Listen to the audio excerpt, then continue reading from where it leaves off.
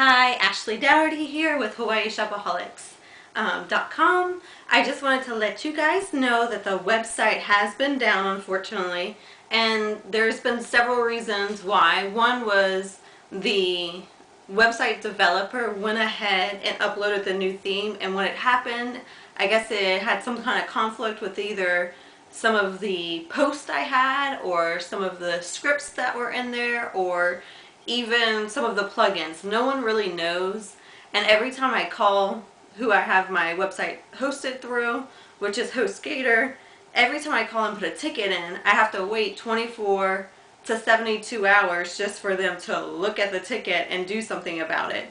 And then once that ticket's not resolved, I have to put another ticket in, and it's just been an ongoing fiasco. So today I went ahead and talked to the web de developer, and we are just starting a blank canvas. So we're not going to import my old files, which was 12,000 plus posts. We're just going to lose it all.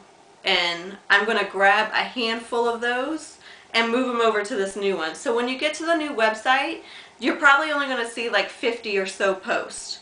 Um, and it's just going to be like our meat and bread that I've developed, like the store breakdowns, the coupon database, um, the coupon matchups will be there. So the meat and bread that we all use. Um, but the normal post when it's a new coupon that's been released, I mean, some of the new coupons were back to 2011.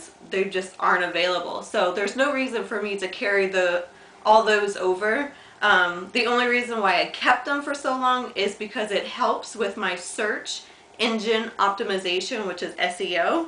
And when someone goes onto Google or Bing and search for a coupon, it will pop up if I have that available on my website and it will pop up in that search engine. So that's extra help that a website needs. Um, I've just decided that it's really not worth the hassle to sit here and be down for so long. I mean, it's been a week now.